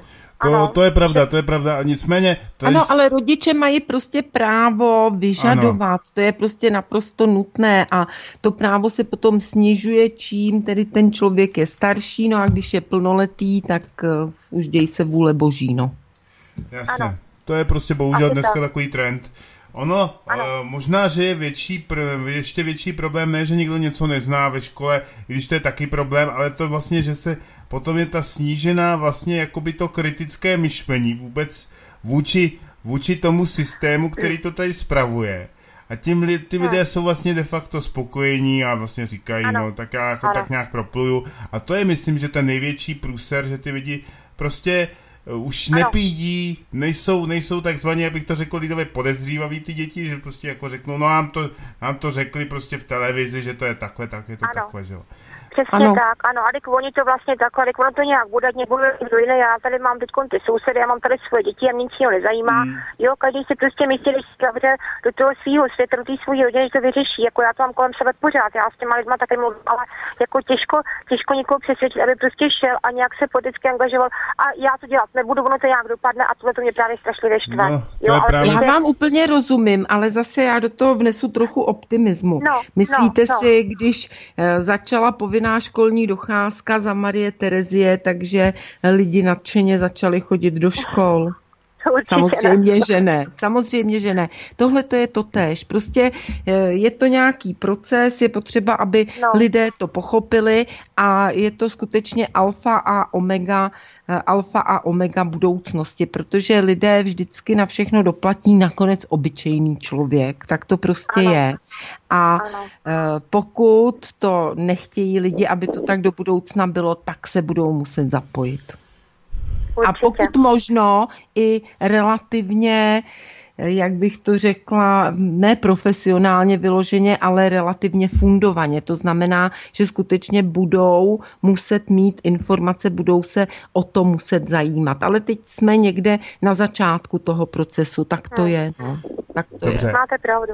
Je to tak. Dobře, děkujeme vám moc za ano. váš telefonát. A Já vám taky děkuji. Večer. večer. Ano, děkujeme moc. Naschle. Tak a přišly nám nějaké SMSky, tak třeba nám odpověděl, se podívám tady. Uh, jo, tady zase někdo píše, uh, že a opět, opět tady máme takové ty násky, uh, že Okamura uh, vykradl DSS program a přetáhl voliče, jde mu jen o korita takové ty řeči. Prosím vás, nechte si toho, nechte si toho, pan Okamura, když, když pominu, že měl peníze a podobně takové ty věci, protože předtím podnikal, tak samozřejmě, že na té, na té, jak bych to řekl pro vás, takzvané ošklivé politické kariéře eh, pracoval řadu let, řadu let předtím, takže má výsledky. A vy se, tady, vy se tady teďka budete dohadovat, kdo komu vykradl program? Když eh, s prominutím teda dělnická strana, který já si vážím, prostě nemá ten potenciál. Nemá ten potenciál, aby prostě se dostala do parlamentu. Tak co budete dělat? Ještě Martine řekla, že hodně lidí eh, třeba se dívá i na mainstream, možná i poslouchají, nebo určitě i nás, když nám píší ty SMSky, ale prostě ten mainstream eh, vytvořil takové špíny proti panu Okamurovi, že prostě ti lidé tomu částečně věří a částečně už je to taková, řekla bych i svým způsobem přirozená nedůvěra, která vznikla z toho, že tady jsme se většinou nebo vždycky spálili, že jo, když je, jsme nějaké straně je... věřili a dali jsme jí hlasy hmm. vys třeba věci veřejné. Takže já bych se na pana posluchače, který to napsal, nezlobila, jenom bych ho poprosila, pokud samozřejmě bude chtít, aby eh, si to znovu se na to podíval a prostě to zvážil, protože samozřejmě pomluv je velká spousta, pomluvy jsou vošklivá věc a zjistěte si fakta. A ještě opět eh, řeknu, protože to vím z té zkušenosti, eh, kterou máme jako posluchači rádia a já tomu věřím. Jestli si myslíte, milí přátelé, že by kdokoliv z vás byl schopen a ochoten takových odhadů 16 až 18 hodin denně pracovat pod tlakem mezi těmi lidmi, kteří jsou často všelijací a k tomu ještě soboty, neděle, jezdit mezi občany, tak před vámi smekám klobouk dolů. Protože tohleto ten Tomio prostě dělá a domnívám se, že asi jako jeden z mála, ne vůbec jediný v tom parlamentu a dělá to už léta. A když byl sám úspěšný jako podnikatel, tak proč by to asi dělal? Kvůli jakému korytu? Vždyť si pro boha živého, přátelé, uvědomte, že si na tu kandidaturu půjčoval. A více já už se k tomu eh, vyjadřovat no, nebudu. To přijde, ale to... takový úsilí věnovat jo, tomu, té naší věci, to by nedokázal nikdo To znát. je jako kdyby někdo řekl, vy vysíláte, já nevím, politické pořady a kulturní pořady, vy jste to tam okopírovali od nějakého rádia, jako to je strašný, no to je, nezlobte se na mě, vážení přátelé. Já bych teda poprosil, ještě se podívám, protože nám tady zase píše nějaký pán, a to je taková stará firma, asi zřejmě tady, já se podívám. E, tak, posluchač z Blanska. Já jenom tady napsal velký, velkou SMSku, že a tak dále, paní Vítová dělá nějaké pořady někde a tak dále. Já bych jenom chtěl říct panu posluchači z Blanska. On tady nadával na SPD. Byl ve třech politických stranách. Vždycky ho vyhodili. Tak se ptám, jestli skutečně to bylo v těch e, zlých politických stranách a jestli to náhodou nebylo v něm. Takže já zvednu telefon. Určitě zvedni telefon. Tak, slyšíme se? Ano, slyšíme se. Radní z Moravy. Já vás zdravím. Já vás Hezký zdravím. večer. Hezký večer. Já vás zdravím oba dva a přikláním se k Ivece. A dost mě to začíná míchat z důvodu toho, že každý dělá něco. Okamura dělá v parlamentu, Černogorský se snaží teda o to, aby udělal nějaké demonstrace, Zenit Chytrá dělá globální pakty, překládá to dnes. Vy se snažíte informovat co a jak. Myslím, ano. že jsou lidi, kteří nemůžou se dostavit nikam, takže uh, se snaží po Facebooku. Jsou lidé, kteří se snaží uh, vysvětlovat dalším lidem, sousedům, co a jak. Ale to, aby se tady někdo rozčiloval většině věku na někoho, je ano, přesně. Přesně. Víte, mně to přijde taky takové... Přesně, souhlasím. Takové dětinské, jako někdo nikomu vykradl program, pro boha, Tady je, to je nějaký obchod, to je, nějaká, to je nějaký konkurenční boj, jako ve stylu firma prostě navrhne automobil a jiná firma okopíruje design, to je nějaký eh, korporátní biznis, tady se jedná přece o ideje a o to, že prostě naší republice hrozí nebezpečí. Ano, a hlavně... My máme, my máme 12, eh, teda 10 minut po 12. už. Hrozí nám dost velké nebezpečí ze všech stran, ať jsou to z Německa, ať je to Evropská unie, ať částečně jsou to další a další věci. Ty lidi o tom částečně ví. Já si myslím, že takových 50-60% lidí v republice o tom ví a uh, snaží se i něco dělat. Vím, že jsou lidé, kteří teda doopravdy řekli na zadku a řeknou si fajn zahrádka a tohle, co já se na to můžu vykašlat, půjdu do práce, že jo, tam se podívám na mainstream a hotovo, tím to pro mě hasne. Ale dochází tady k jedné věci, že mě třeba štve už i jedna věc, že lidé, kteří se snaží na tom Facebooku a někdo řekne zvedněte prdele a běžte na ty demonstrace, Ježíši Maria, máme tady lidi, kteří jsou invalidi, máme tady lidi, kteří jsou důchodci, uh, starobní, Někdo nemá peníze, a tak dále. že jo, na to, aby jel do Prahy a podobně. Ano, a snaží se aspoň po téhle z té linii, jo. Když se snažíme, myslím, že těch lidí je dost a hádat se mezi sebou, to je to nejhorší, Víte, co by se mohli udělat. ještě k těm demonstracím, jestli můžu. Eh, ono samozřejmě by ty demonstrace měly smysl, kdyby se na nich takzvaně navrhovalo řešení. Jo. To, že samozřejmě já kvitu, že se tam pozvou třeba zahraniční hosté, kteří vlastně vyprávějí o té migraci a tak dále, o tom, co třeba já nevím, zažív, zažívají v Anglii, v Maďarsku, to je prostě jako věc velice přínosná. Ovšem, aby někdo na té demonstraci, když ten pán řekl, že všichni teda podporovali SPD, aby někdo teda na těch demonstracích řekl, hele víte co, chlapci, je to hezký, ale co kdyby jsme teda podpořili, udělali si tady, teď to řeknu, teď mi to řekne komunisti jako, jako závazek, že prostě podpoříme SPD prostě v, já nevím, ve, ve volbách, v komunálních volbách, eh, ve volbách do Evropského parlamentu a tak dále. To jako nikdo neřekne, řekne se to maximálně tak bokem od podia. No zaplať pán, aspoň, že to někdo řekl, že to měl odvahu. A, ale jinak vlastně se taktně mlčí, a udělá se taková nějaká ta osvětová kampaň, ale prostě jako co dál, to už ne a teď se tam různě objevují ty provařené, provaření lidé, no a spousta sluníčkářů z toho má akorát legraci, takže to je bohužel taková situace. Já totiž nechápu ještě další věc. Eh, snažil se teda různé skupiny Azie navážet do SPD. Hmm. Na druhé straně, když to vezmu, jsou tady ty pidi strany, jak se říká, a je jich dost. Kdyby se tyhle ty pěti strany spojily, dejme tomu ve dvě, ve dvě nebo ve tři strany a snažili se proniknout do té poslanecké no, sněmovny, aby pomohli tomu Okamurovi, protože tam svým způsobem nikoho nemá pomalu, kdo by ho tak nějak podpořil, no. tak je to úplně o něčem jiném. No jo, že to by... Ne, protože, že... pane posluchači, to by to museli umět. Jako rozumíte, Já jedna vím. věc je zorganizovat demonstraci a předat tam informace, které jsme se dozvěděli, což je určitě velmi cené.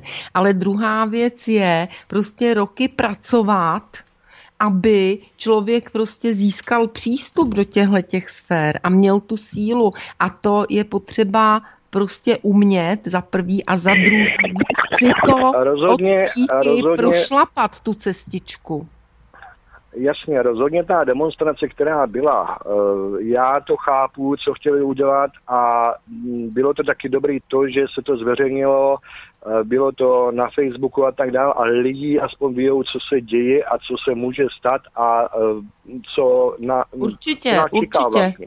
Jo? Tohle to bylo výborný. Já jako samozřejmě, ale jde tady o to, že říkám, každý dělá něco a nesmí se udělat jedna věc, že když se teda mezi čtyřma očima řekne něco, jo, e, co, co by si normálně řekli e, tak nějak jako chlapi u piva, dejme tomu, jo, tak to prostě nevynášet, ano, my jsme si, to jsme si, ale jedeme po stejné linii, Ježíš Maria. Proč to budeme já, dávat? Já tomu, já tomu rozumím, já tomu rozumím, ale no. e, to je taky je to také o té úrovni těch lidí a já jsem také svého času razil teda, že všichni jsou strašně super a, a dělal jsem tam rozhovory i s lidma, eh, kteří vlastně jako ve své podstatě dneska spíš vedou lidi na cestí, protože jsem takzvaně chtěl dát příležitost a pak jsem zjistil, nebudu jmenovat, jeden taky takový duchovní vůdce, takový vystupuje někde jinde,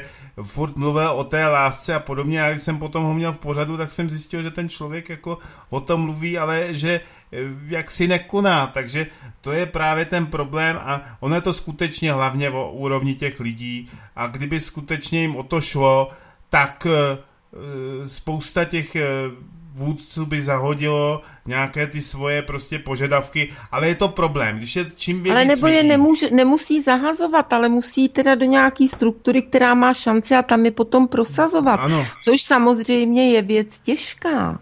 Jako to vůbec není jednoduché prosadit někde no, no. svůj pohled na věc. K tomu musím mít informace, k tomu musím mít přesvědčovací schopnosti, tomu musím věnovat strašnou spoustu času, protože budu třeba mluvit desetkrát s 50 lidma, tak už jen si to vem. A tohle všechno tento Mio na úrovni toho parlamentu prostě pro nás dělá a neúnavně, a tomu věřím, jak jsem ho stihla poznat z těch našich pořadů, tak prostě neúnavně je tam bombarduje. A to je prostě nutný. Jo, on si každý představuje, že má nějaký nápad a že prostě někam přijde a každý si a sedne na zadek a řekne, jo, jako bezvadný, takhle by to mělo být, ale tak to nefunguje. Jo. Ano, Ono, tak jak se říká, jsou tom ještě i peníze, že jo, někdo si myslí, že se dostane na 3%, že jo, nebo na 2% dostane za to peníze jako strana a tak dále, pojede se dál. Ale na tyhle ty věci podle mě se už musí zapomenout. Určitě, souhlas. O stát, o národ, jo, tady jde o naši existenci, o všechno. Já nechápu ty lidi, kteří hájí jenom ty svoje zájmy a myslí, dejme tomu na ty hmm, peníze nebo na tohle. Jo. Tohle je další aspekt, Já to tady taky je. nechápu jo. a bohužel vy jste říkal, že si myslíte, že třeba 60-70% lidí je v obraze, ale já teda zase bohužel mám okolo sebe úplně opačnou zkušenost.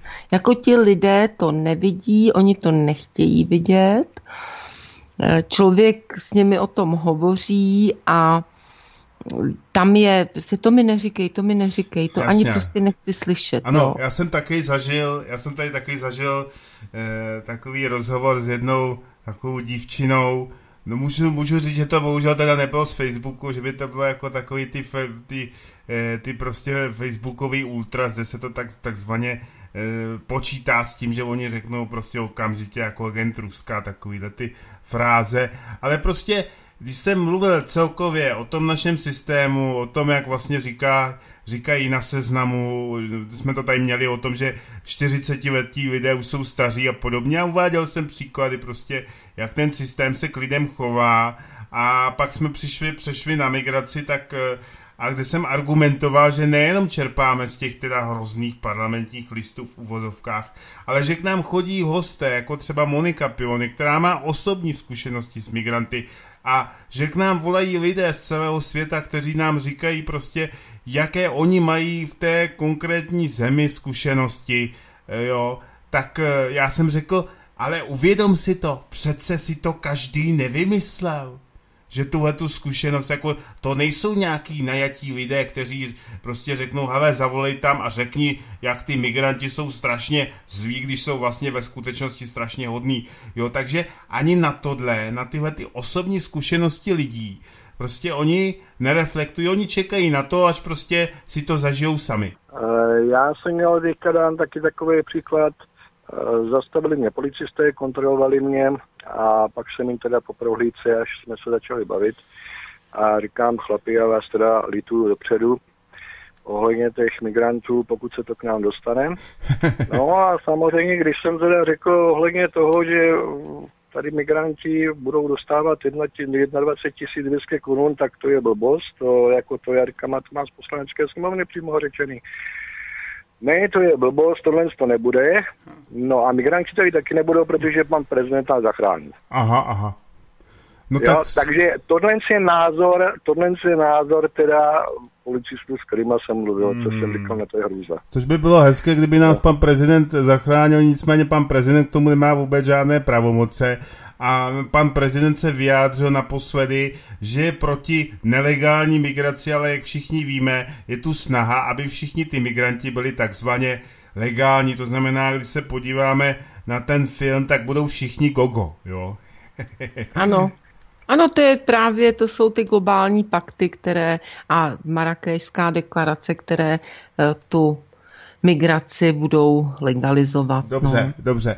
Ehm, Mějte se pěkně. Děkujeme. My tak moc krát děkujeme Děkuju za zavolání za vaše, a hezký večer. Děkuji za vaše rádio, mějte se krásně. Mějte se hezky. Zatím Tak já mám takový dojem i ve to, že nám přišel zase nějaký SMS-kový seriál, jak je to tak, se to podíváme teda. Tak, to, já... tak si to, chceš si to projít nejdřív, že bych něco přečetla, nebo to budeš číst rovnou? Uh, jo, že Okamura nestojí o sjednocení, jinak by se zachoval i k dělnické straně. Už jsem to vysvětloval, vážený pane posluchači. Ne, to už tím se, tím se nezabývej. Najděte si to v archivu, přehrajte si to znova.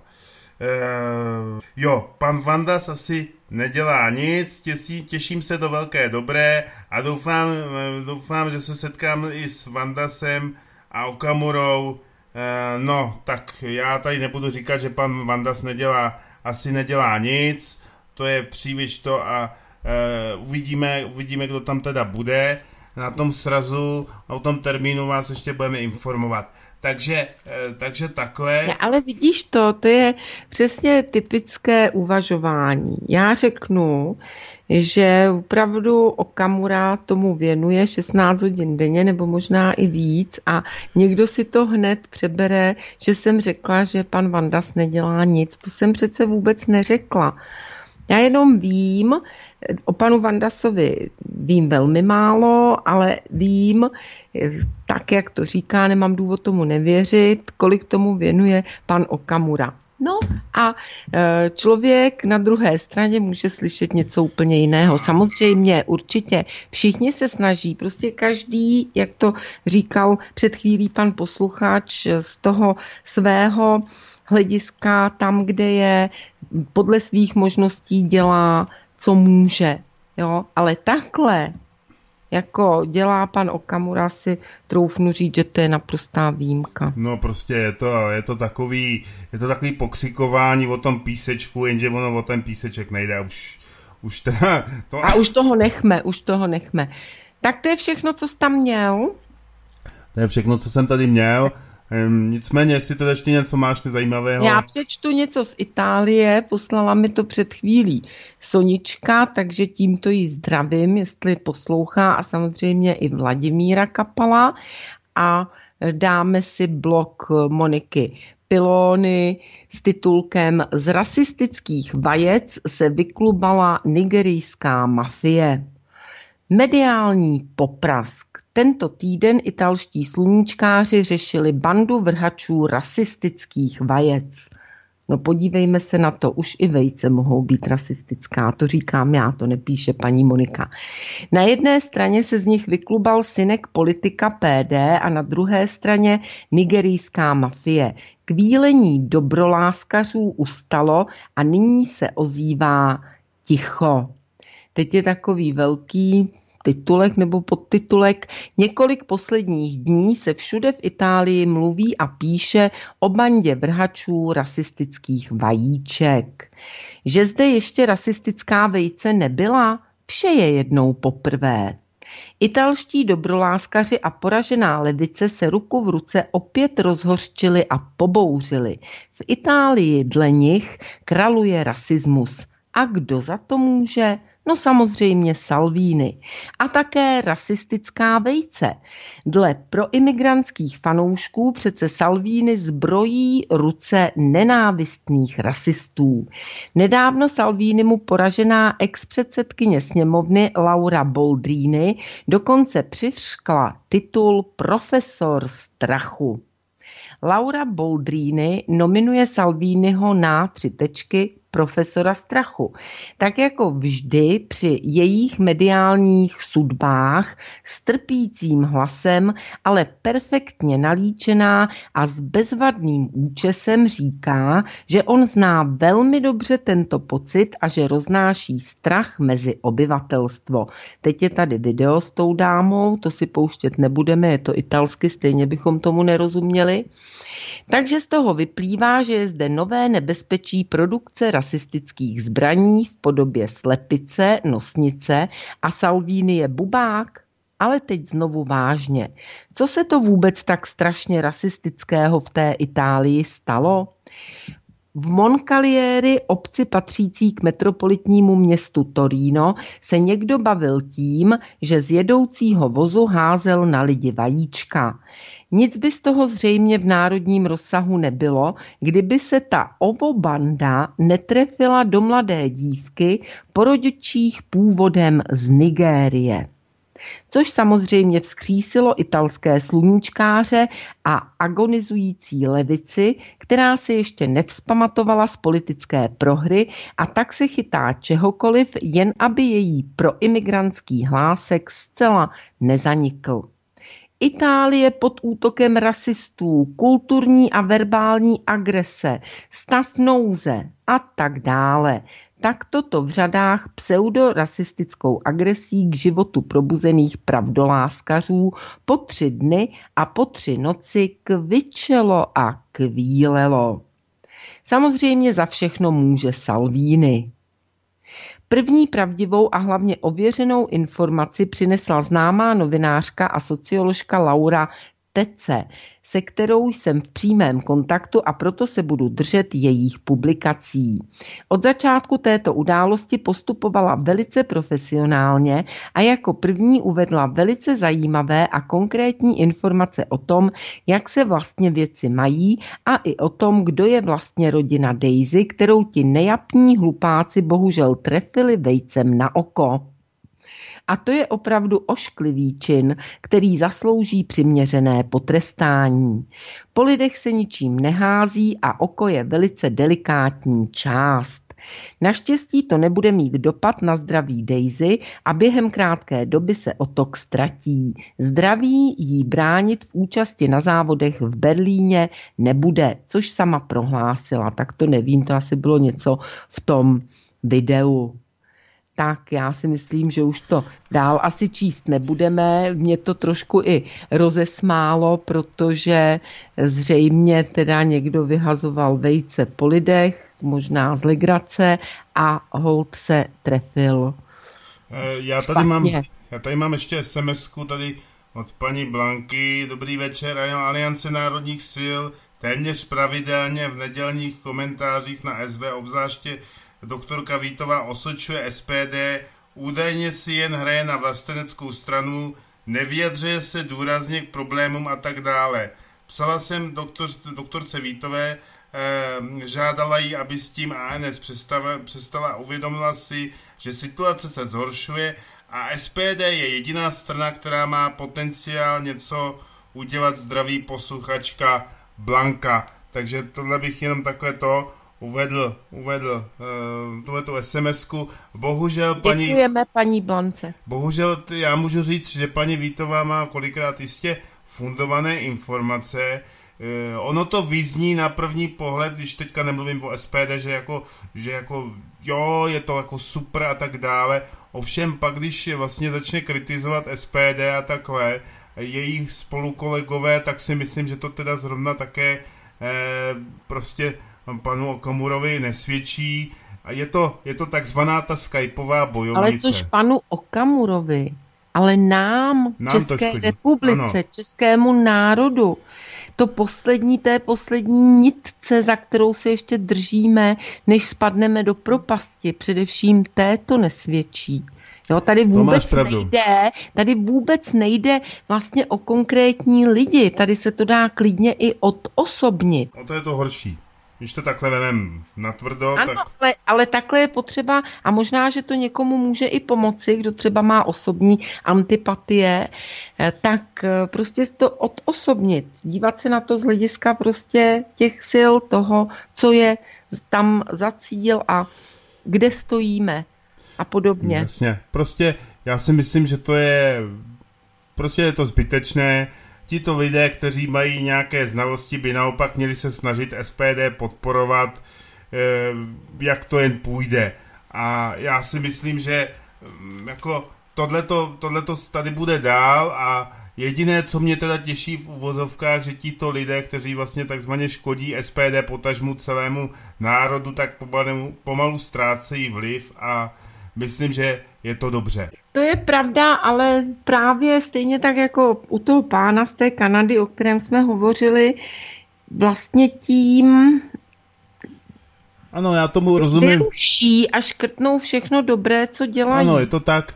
Je to tak Protože prostě... je, já nevím, kolik lidí ovlivní, jestli desítky, ten pán asi tak maximálně nějaký desítky, jiní třeba stovky a ti lidé chybí, protože každý člověk, který podpoří smysluplně tam, kde je to hmm, teď potřeba, tenhle ten boj vlastenecký, tak každý ten člověk je cený. A když o něho přijdeme, tímhle způsobem, že někdo právě fundovaný, takže lidé si řeknou, no ano, ten je dobrý, zatím jdu, tak mu uvěří tyto nějaké polopravdy, dejme tomu, tak jsme o něj přišli jako je to, je, to, je to tak, samozřejmě, že to je vždycky ztráta, eh, že by ti lidé měli mít, když nemají třeba to vzdělání, měli by mít aspoň kapku zdravého rozumu. Eh, je to škoda, eh, mohli jsme být podstatně dál, kdyby mnozí lidé se chovali prostě nějakým způsobem, řeknu to státotvorně, tak jsme mohli být mnohem dál a eh, mohli jsme být v lepší pozici a díky za SPD a ale víš co, Martine, tam ještě ta věc, že každý člověk, jak řekl pán posluchač před chvílí, jak volal, tak každý člověk má své místo, každý člověk něco umí, co třeba druzí neumí, nebo, nebo ne tak dobře. Jo? A my bychom se měli všichni doplňovat. A jestliže je někdo vynikající odborník a dokáže připravit ten materiál a lidem to vysvětlit, no tak zaplať pámbu, to je prostě úžasné, ano. ale ten týž člověk nemusí už být průrazný eh, v tom směru, v jakém je to potřeba a jako je třeba tedy Tomio Okamura, ale fakt to odosobněte, tady vůbec nejde o něj, že je to zrovna on, to by mohl být nějaký jiný člověk, který by byl stejně prostě schopný a měl by, měl by ty dovednosti a schopnosti a znalosti k tomu potřebné.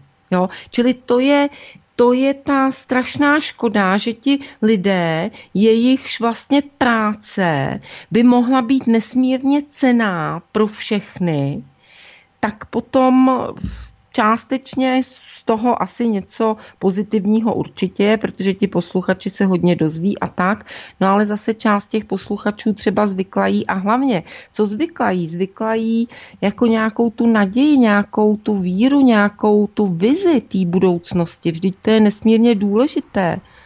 E, víš, ono, já ti řeknu jednu věc, že spousta lidí třeba eh, v případě pana Černorského, on byl docela dobrý rétor, když dostal dobrý text, uměl ho Eh, dobře úderně přednést. To si myslím, že je jeho bylo jeho místo, ale v momentě, kdy člověk prostě, který na to nemá, má ještě prostě ambice jiné, na které prostě, které evidentně nezvládne a myslí si o sobě, že je prostě něco úžasného, no tak potom eh, je to prohra. Ty lidé mají prostě, mají prostě se držet svého Eh, svého místa tam, kde jsou dobří. Já také třeba nekandiduji za SPD a podobně, protože si myslím, že tady eh, moje práce je v rádiu, jo, takže také se tam neženu a já si myslím, že takhle by ti lidé měli uvažovat. Takže já vemu telefon, já jsem zvědavý, kdo pak nám volá.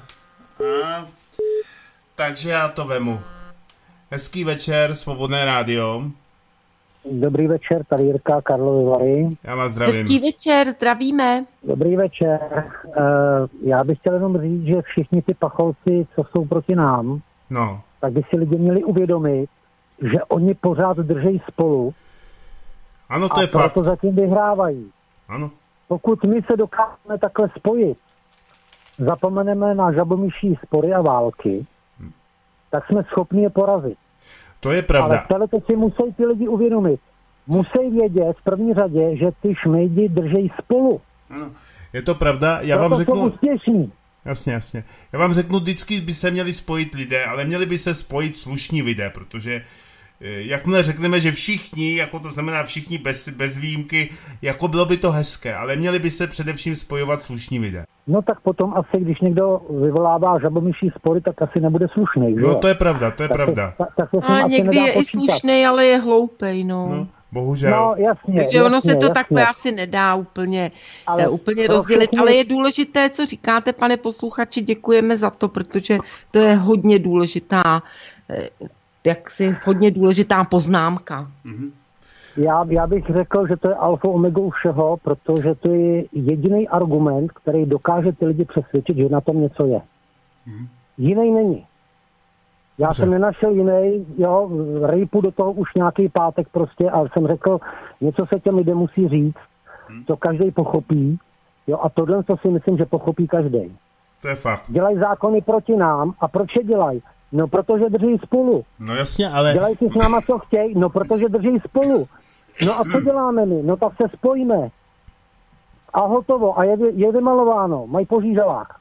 No je to tak, je to tak. Máte pravdu, ale když se máme spojit, tak prostě vždycky je tam potřeba eh, ten vůdce, je tam prostě potřeba Jistě, ten článek, toho který máme. to spojí a to je tady jedině to No. SPD. No. Víte, já, nesu, já Ano. si nemyslím, já si nemyslím prostě na takovou teorii, že jak někdo kdo si razí, že nepotřebujeme vůdce, protože jsme si každý všichni vlastně takovým vůdcem a každý vlastně pochopíme a budeme vědět, co máme všechno dělat. To je taková utopistická myšlenka, takže samozřejmě nějaký lídr, eh, když to vemu teďka je to SPD, v tom je, s tom je Okamurou, prostě tady je. Takže je potřeba Jistě. prostě tu stranu podpořit a já si myslím, že jít za tím podstatným a nehádat se tady o tom, jestli někdo někomu vykradl program a podobně, to jsou prostě s prominutím hovadiny. Podívejte, je to jednoduchý. Migranti se třeba řežou mezi sebou. Ano, to je pravda. Ale když, do, když, když dojde na věc, tak se spojej. Určitě. Ano. Rozumíte? Tak Jasně. se to musíme naučit. Tak se hádejme, ale v rozhodný okamžik se spojíme. Dobře, dobře. To, Souhlasíme Jo, a děkujeme.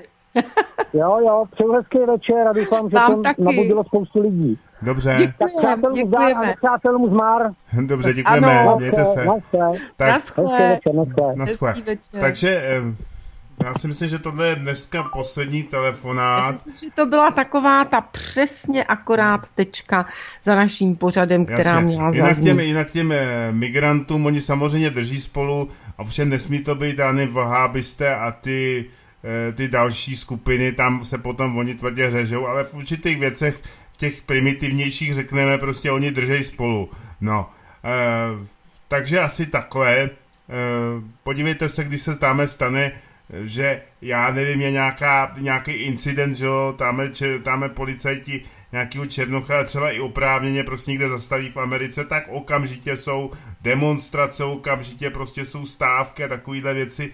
A u nás se tady stane nikomu prostě nějaký takový problém a e, podívejme se na ty klienty H-systému, e, spousta lidí potom vlastně tvrdě odsuzuje a neříkám, že to je úplně jednoznačné, ale spíš jsem pro, při těch lidech a tady bohužel ta společnost i v tomhle tom prostě eh, ty, ty lidi moc nepodpoří, takže já...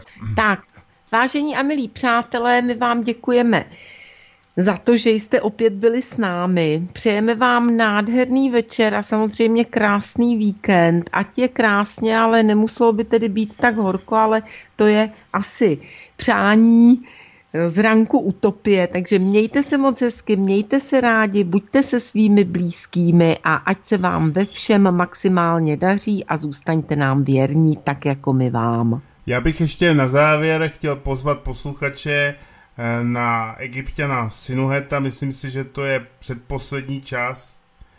Prostě v té poslední části se stane, že půjde do exilu, takže si to můžete, eh, prostě tady je vidět ta politika i takové. A pak eh, máme pro vás bombonek Žila Verna 20 tisíc mil pod, mořem, pod mořem a je to eh, kompletní, takže budete se s tímto románem setkávat delší dobu a na příští týden je e, takové opakování na přání, taky od Žila Verna, tajuplný ostrov, takže jste si to přáli minulý rok, takže opět na Svobodném rádiu to uslyšíte. Takže my se, od, my se loučíme a přejeme vám hezký večer a děkujeme za poslechovost. Naschledanou. Naslyšenou.